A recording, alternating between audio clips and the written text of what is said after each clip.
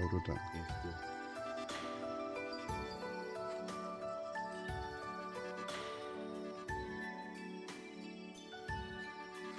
Yes. Um, yes. Uh, welcome to Wedza. Uh, welcome to Zimbabwe. Welcome to uh, Mashonaland East uh, Province. And uh, we are seeing an early crop, an early crop, winter crop uh, already here or on maize.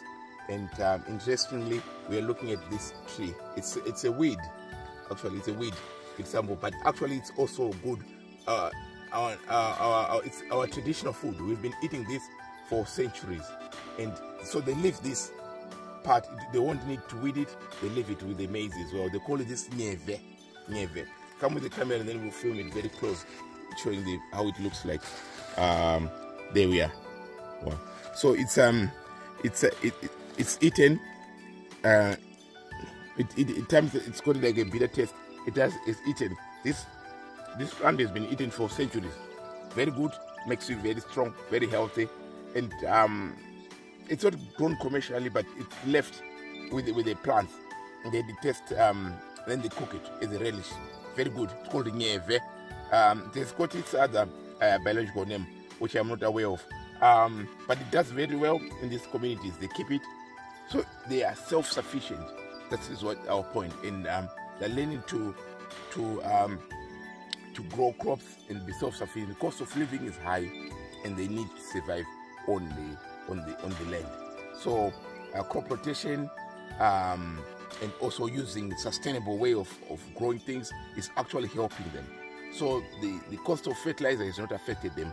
They're using uh, leaves as manure, and they've grown, they've moved forward, and now they're moving into other crops they've not been doing, cashew and pistachios, and they're aiming at five hectares each, five hectares each, um, to to do, to grow that, and in a, maybe three four years they'll be able to get the first crop.